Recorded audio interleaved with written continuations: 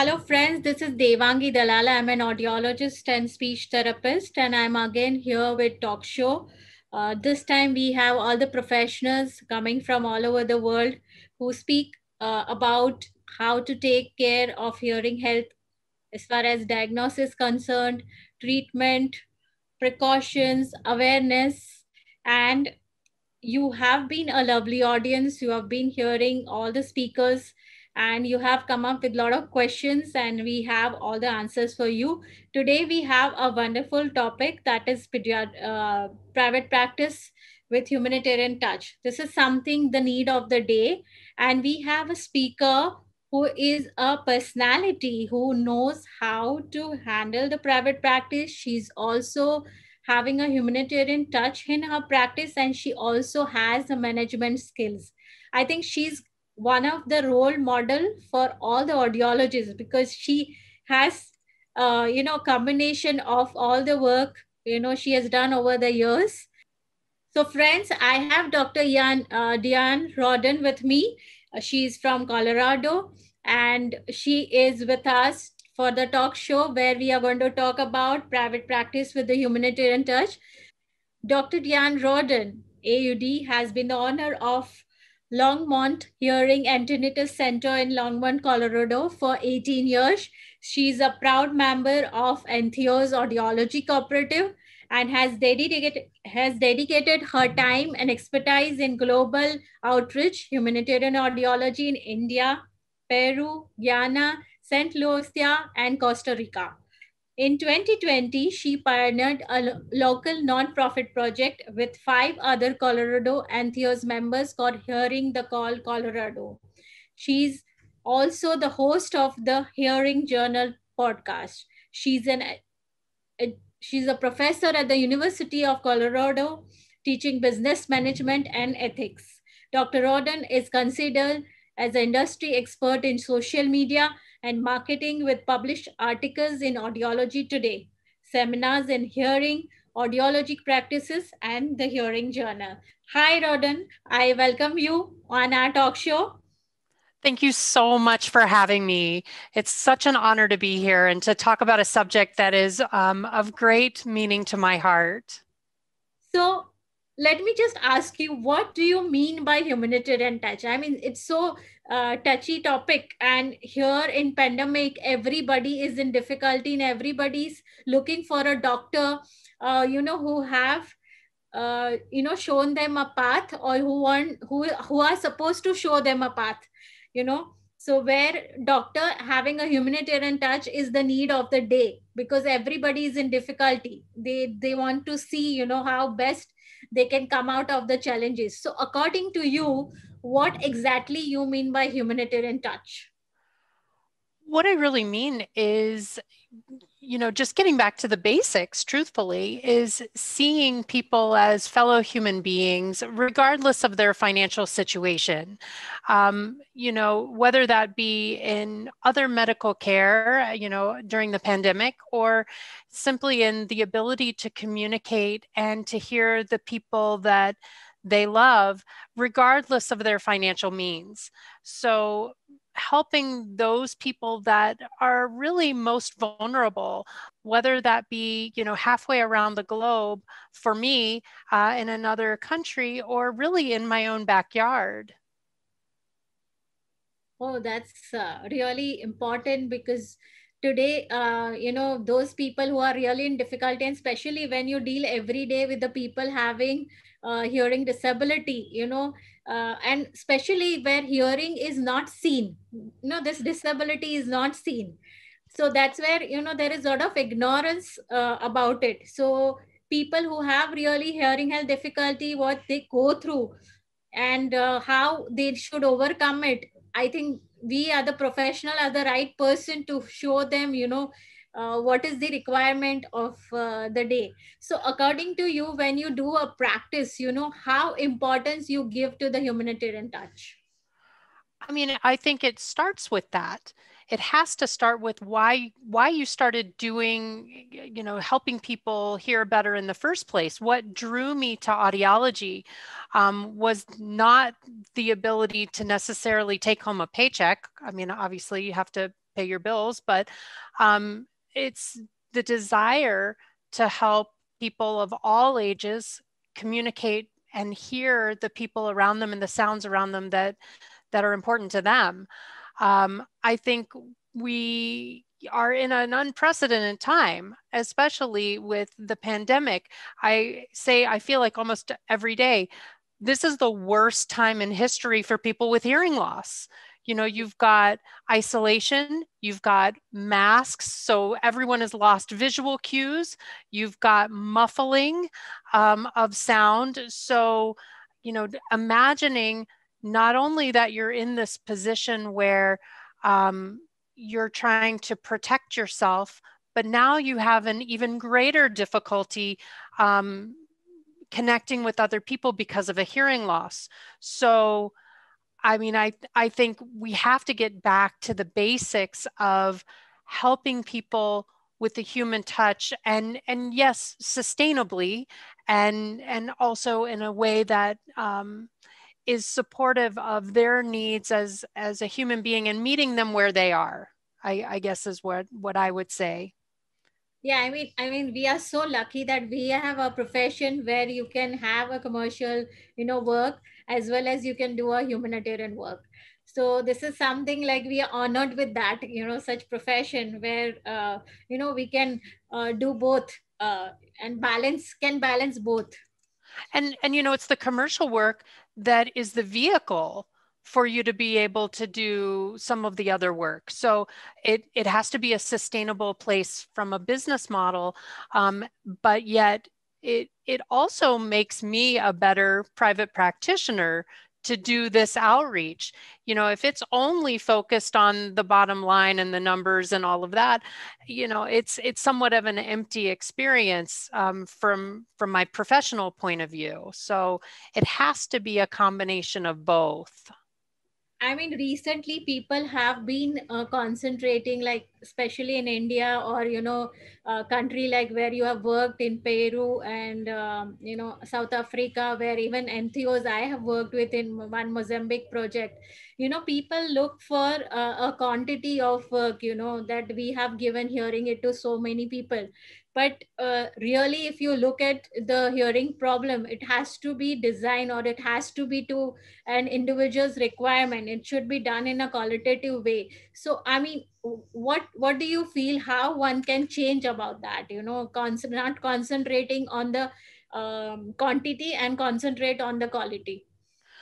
Well i mean i think um, you know the quality has to be there I mean, without the quality, you know, the quantity really doesn't matter.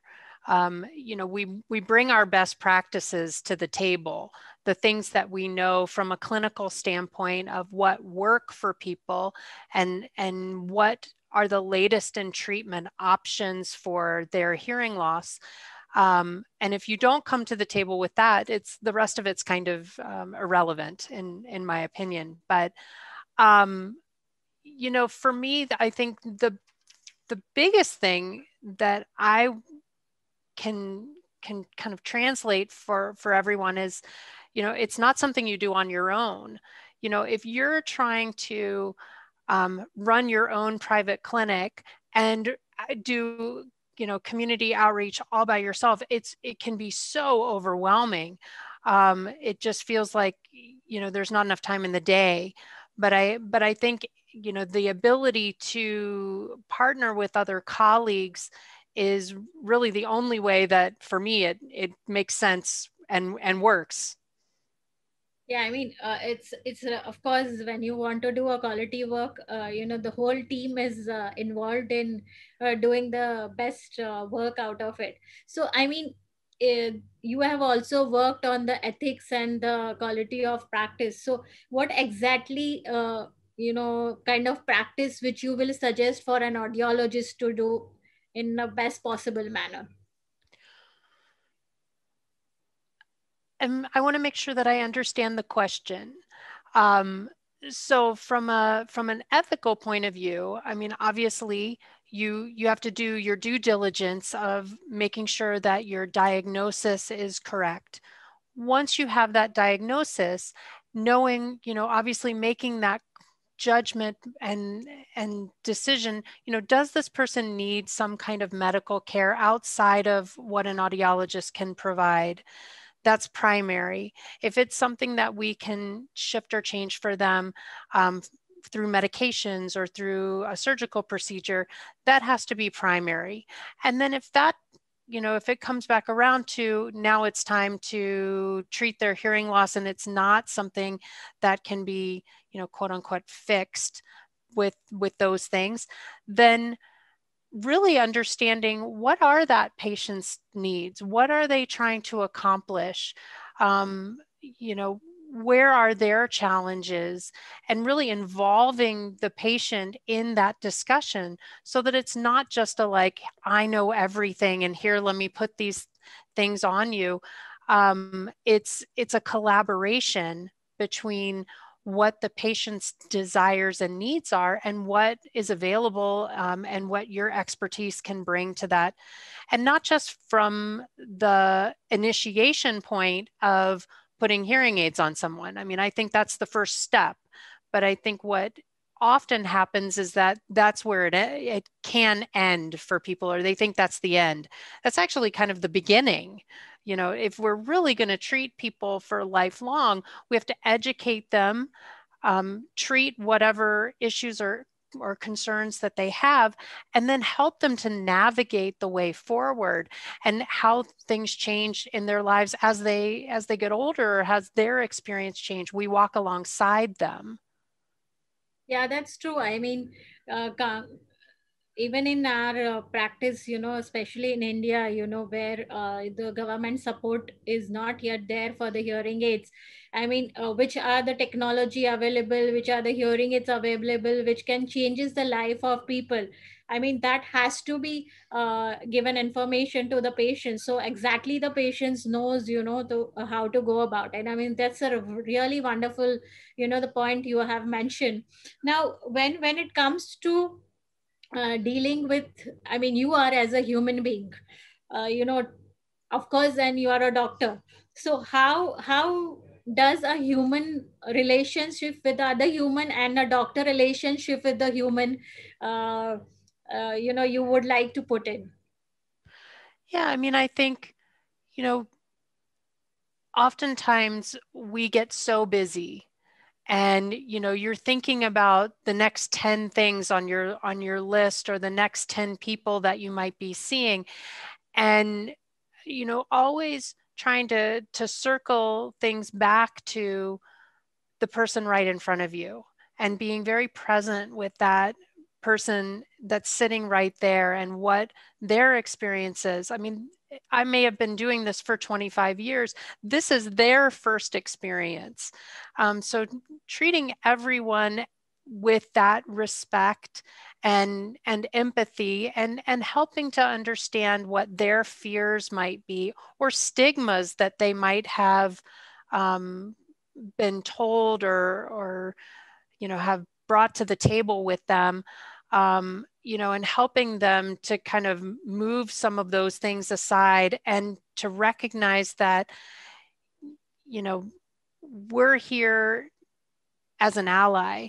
You know, we're we're their ally on their pathway, regardless of where they're at. I mean, you can help people um, really by giving them permission to show up exactly as they are and and offer solutions not just you know tell them what to do yeah i think that human connection is the requirement uh, between even a doctor and a patient you know uh, and that connection if it works out and it leads to a faith in doctor you know. Today you know in pandemic you see all over uh, places you know uh, we are not praying god we are praying all the doctors you know who are helping us.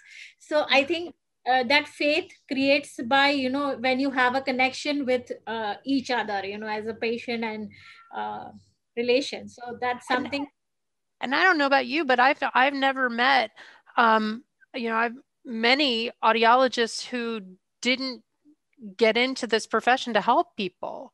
I mean i think at the core that's that's what drives us. Um, so it's certainly you know i think when you lose sight of that, um, things kind of go off the rails. But um, if you can keep that as a part of your focus, like you're you really got into this for the purposes of of helping others, and and that's what keeps that human touch uh, on the forefront. So, I mean, uh, this is a very nice uh, information or rather ni- very nice tip for an audiologist that if you want to become an audiologist, you have to have that human connection. You have to have that patience to deal with the people and, you know, have a humanitarian touch to do the work in best possible man- manner in the profession. I mean, and that's is- even if you're in your office, you're still doing in many ways humanitarian work um, for the purposes of bettering humanity. It doesn't matter if you're, you know, in somewhere, you know, in the jungles of Africa or you're sitting in your own urban clinic. It's it's the same sentiment. It's the same offering. Um, I, I just think, you know, if you start making distinguishes, that's where that hierarchy starts to happen. And the whole purpose is to break down that hierarchy. You know, it's not me as the doctor and I'm looking down and telling you what to do. I'm coming together with you where where you are, regardless of where that is. And I just happen to have an expertise that can assist you.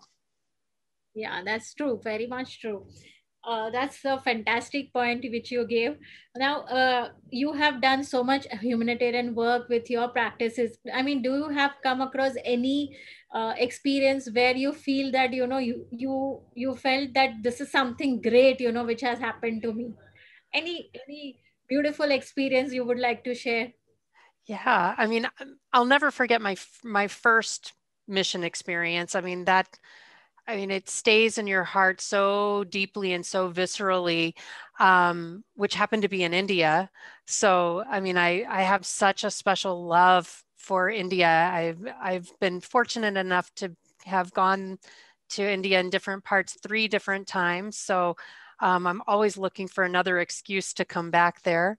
Um, but my most uh, recent experience, I think, right now for me sticks out because you know, when we think about global outreach or humanitarian efforts, um, we often think of places far and far away. And what I recently had the experience of is to set up a nonprofit project in my own backyard. I mean, with the pandemic happening, um, no one is traveling, no one is going anywhere.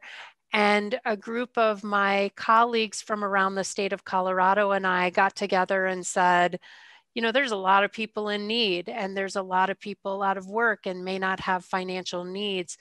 And with the help of um, people like Nora Stewart, um, developed a program where we all kind of pooled our resources, pooled our efforts and, and our desires, and said, what if we did this in our own backyard? There's plenty of people here in Colorado that have needs that um, you know we don't have to travel halfway around the world.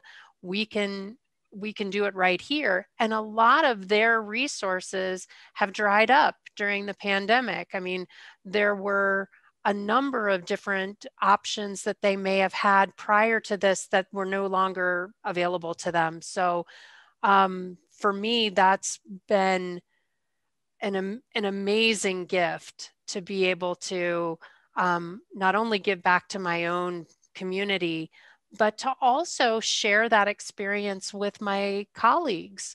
I mean, as I said in the beginning, you know, it's great to do this work and it gives you a lot of um, benefits um, personally. But then to say to my colleagues, hey, you know you're not my you're not my competitor you're my colleague. And when we show up like colleagues and and we work together man we can accomplish so much. And so i'm really excited that you know for my five other colleagues around the state we will go i will give my time to their community just like they gave their time to my community um, and it's that give and take and we've had other colleagues outside of us say how how can i help? What can i do? What do you need? You know do you need hearing aids? Do you need you know expertise? You know what can i do to to help with this? Because I think um, it's really needed. No, that's something very nice. Sharing information with other professionals. I mean, this is something, uh, today's example, you are sharing information with me. I mean, that's something really great. And I think our conversation will reach also to so many audiologists who will get inspired, you know, to share the information with each other. And uh, as uh, you rightly said, that WHO has uh, found out, I mean, the statistics says that uh, there are 360 million people in the world and 6.3% population is hearing impaired. And that in, in that 60% is adults and 40% it's kids. And all over the uh, world only 10% global need is made especially hearing health care is concerned. So we all audiologists have so much work that you know we can share the information help each other and can reach out to so many people you know to work for hearing health. So this is something very nice initiative you have taken and I wish that more and more audiologists can join you. Me too. Me too. Because imagine what we could all accomplish if we all kind of got together and said, hey, we're going to put our minds to it and we're going to work together and and see if we can make a, a dent in this 360 million people.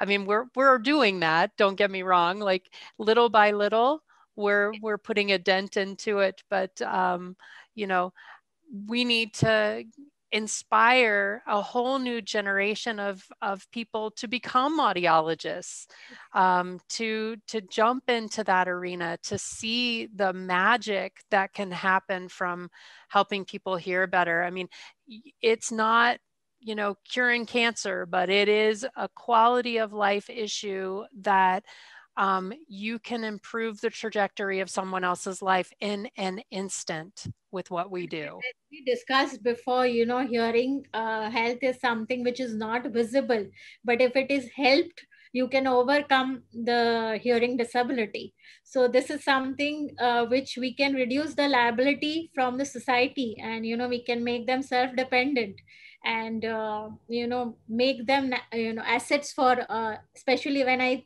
think about you know working with Josh Foundation uh, you know how your NGOs work uh, we feel that uh, if the hearing impaired people are given a correct uh, diagnosis and treatment and then they can become a self-dependent and can become a national assets. So we are capable of doing the changing doing and changing the life of people.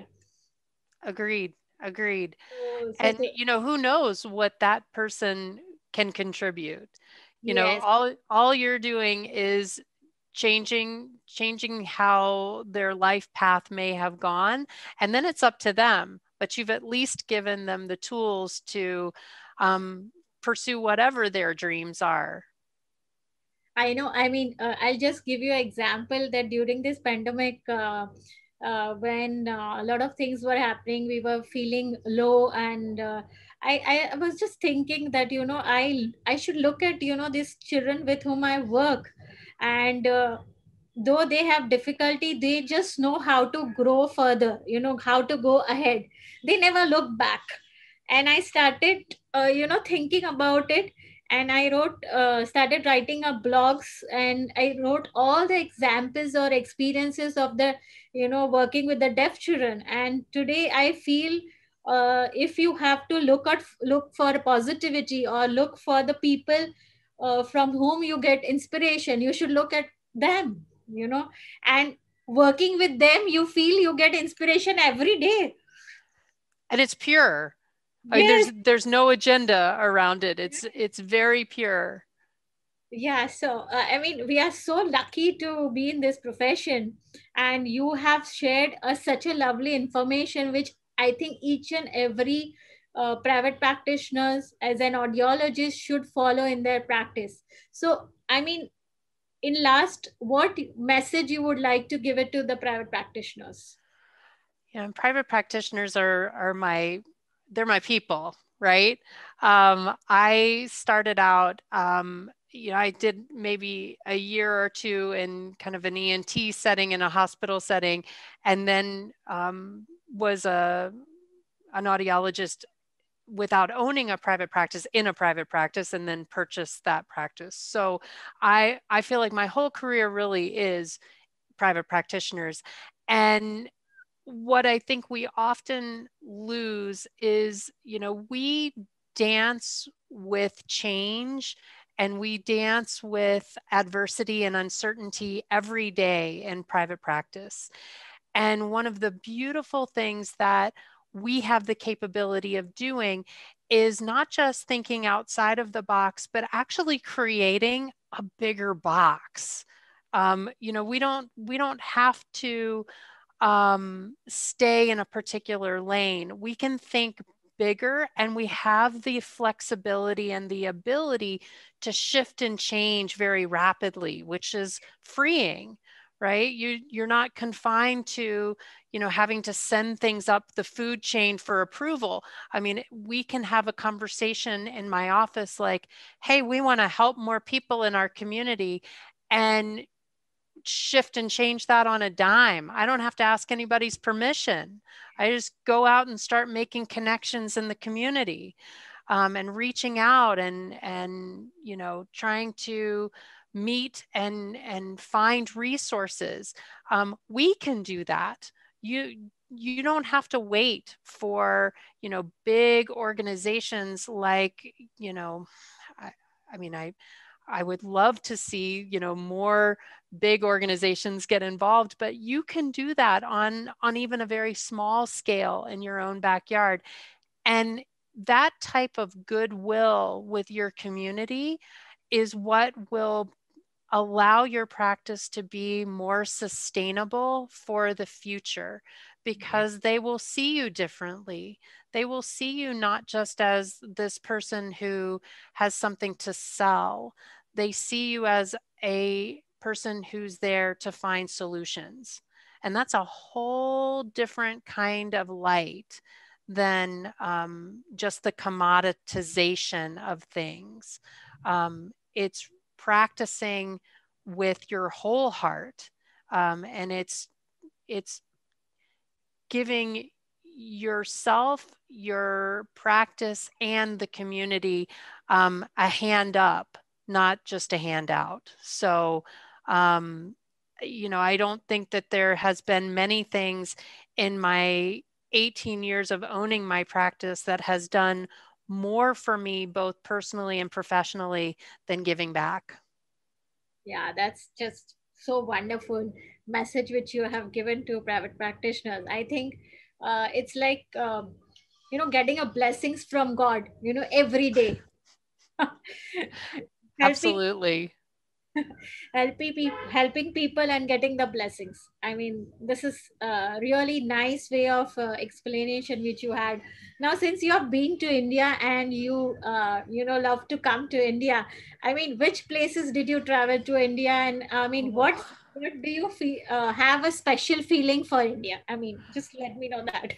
Well my my first trip to india was actually um, as a spiritual pilgrim I um, went and started in Rishikesh, uh, which I think for for a West, uh, an American is probably a an, an easy entry point. It's, it's, quite a lovely, beautiful place up in the mountains.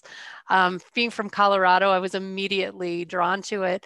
Um, and then went to Varanasi and um, some of the the places up north, which are so profoundly um, rich and beautiful and and cultural.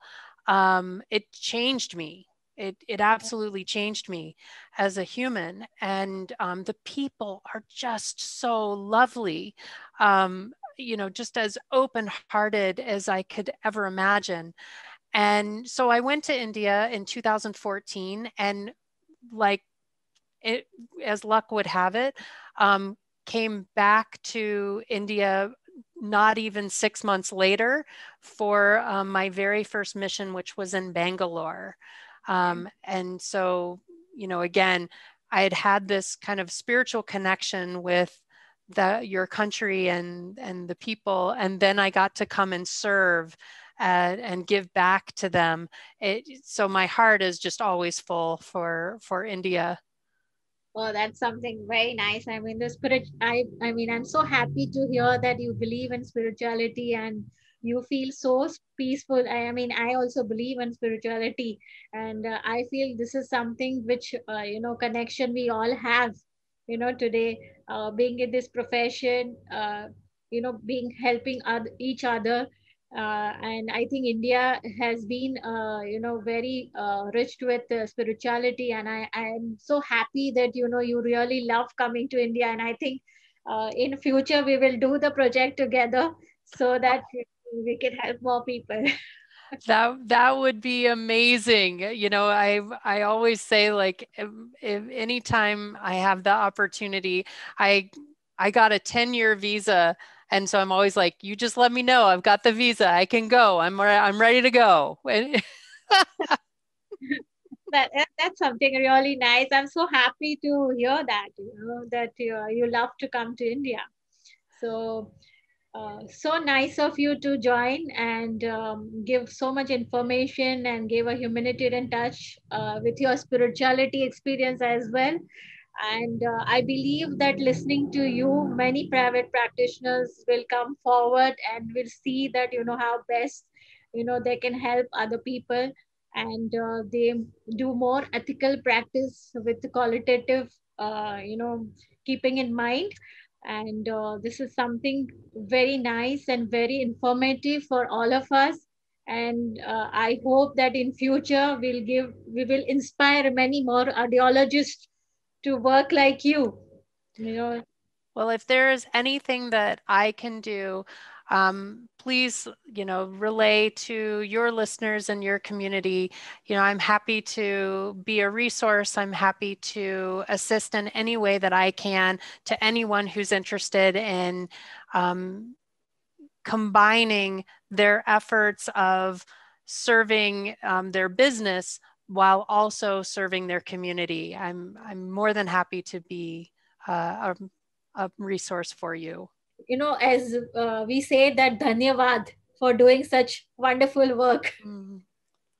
Thank you so no. much. And I don't do it alone. I want to make sure that everyone hears that message. It's it is not um, it's something that any of us do alone. We but the more we work together, the the better we're able to uplift all and i think that comes by gratitude. So thanks a lot for joining on this talk show. And uh, i'm so happy that uh, i uh, you love india and i will see through it that you know i invite to uh, our india soon. Wonderful. Wonderful. Thank you so much for having me. Bye bye